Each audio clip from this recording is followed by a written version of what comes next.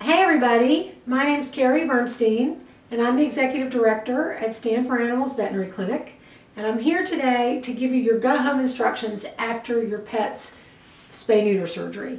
Normally we would be doing this in person in our lobby but given everything that's going on in the world we wanted to make this video so you'd have something to watch at home in addition to reading your discharge instructions. So when you get home, if you open your discharge packet, there will be a sheet of paper in the packet that is a set of written discharge instructions. And ideally, you would go home and read that entire sheet of paper. I'm just giving you a little bit of information just as an overview to get you started. So if you're picking up a dog from surgery today, when you get your dog home, we would recommend that the first thing you do is give them a little bit of water. What we hear from our clients is a lot of times since they didn't eat last night and we didn't feed them today while they were in the clinic, that you want to give them something to eat. And we would recommend that you wait at least an hour after you get home to feed them to give them time to kind of settle down from their day. And when you feed them, we want you to feed them their normal diet. We don't want you to change their diet tonight because if you go and decide that because you want to make them feel better, you're going to serve them a sirloin steak and they've never had a sirloin steak, it's highly likely that it might make them not feel well and then we're not going to know if they're having an issue related to surgery or it's because you decided to feed them something different. So make sure you feed them their normal diet and we suggest that you start off by feeding them about a third of what you normally would feed them. If they eat that and they seem hungry, it's always fine to give them more, but it's better for you and for them just to go slow and be as moderate as you can possibly be. And during their surgical procedure, we put a liquid Novocaine on all of their incisions, and we also gave them a long-acting pain injection. So tonight, it's not required that you give them any pain medicine. In your go-home packet, you're going to find a vial of medication. It's got the directions and the dosage on there. It's cut up in the right size. And what we recommend is that you start this the day after surgery and we recommend you give it after breakfast and after dinner because that way you make sure that they've got the right amount of time in between the two meds and dogs and cats are like people. They tend to tolerate their pain medicine better if they have something in their belly. And then we recommend that you give them the medication until it's all gone. And then your job for the next 14 days, because that's how long it takes the incisions to actually knit back together, is to look at their incision every day. And the reason that we tell you that is because if you're checking the incision daily, you will make sure that everything's healing normally. And when we say normally, it means that when you look at the incision, it's not open or oozing, there's no goo coming out of it, it's not red, it's not swollen. It should heal just like an incision on you heals. So every day you look at it, you should see improvement.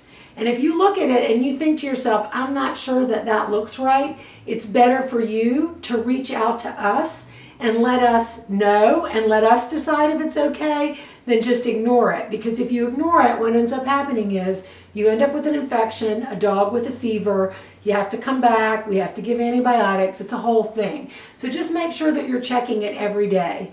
And when you look at their incisions, you'll notice everybody has a little green mark on their belly, and that's where we tattoo them. And while people don't believe it when we tell them, we open up at least 10 dogs a week that don't have the uh, parts that we're looking for.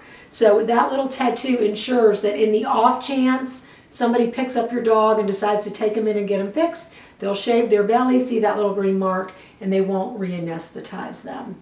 Um, and as we said, we don't, um, we want you to check the incision every day, and we don't want those incisions to get wet for the next 14 days. So that means no bathing, no grooming, no swimming. The incisions need to stay as dry as possible. So if you take your dog out for a walk in the morning and we want you to leash walk them for at least the first seven days and their bellies get wet for some reason, just pat their belly dry. And if your dog ends up in a mud puddle and they're so dirty that you just can't take it anymore, you can always take some baby wipes and just wipe off their paws and their belly. Just we don't want those incisions um, getting wet. And if you have any medical concerns that are not uh, related to an emergency, all the emergency information is on that discharge sheet that I mentioned earlier. If you have a non-emergency medical issue and you need to uh, reach a doctor, the fastest way to reach a doctor in our practice is to email. And on the front of your packet, it's on the top right corner, I believe. It's it, it gives the email address, and it's surgery at stand for animals spelled out. That's us org. So if we have an on-call doctor every day from 7 in the morning till 10 at night, even on the weekends. So as I said, if you have a question about something, the fastest way to reach a doctor is to email that email address. If you got a cone from us, I'm sure you know by now that we did not put them on your dog as you left the building. And the reason that we don't put them on is because if you make them wear their cone in their car, there's a high probability that they will get car sick.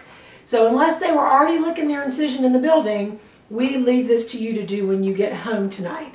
And what we say about the dogs are, if you're going to be with your dog and keep your eye on what's going on, your dog doesn't need to wear the cone. But if you're going to leave your dog unattended for more than 10 minutes, the cone has to go on.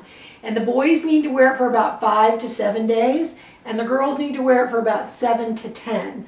But if you brought a younger dog to be fixed, they're like children. They heal much more quickly. So if you keep your eye on the incision, once the incision looks all nice and healed up, no more cone. If you got a cone, it's going to look like this and have some loops at the top. And you have to put a collar through those loops in order to keep the cone securely fastened around your dog's neck. And if you don't have a collar, you can certainly use a piece of gauze Uh, if that's what you have at your house, or we're happy to provide that as well. And you just run the collar through the loops. Okay, so you got the collar through the loops, and the hardest part of the process is actually this part, which is pushing the cone on over the dog's head.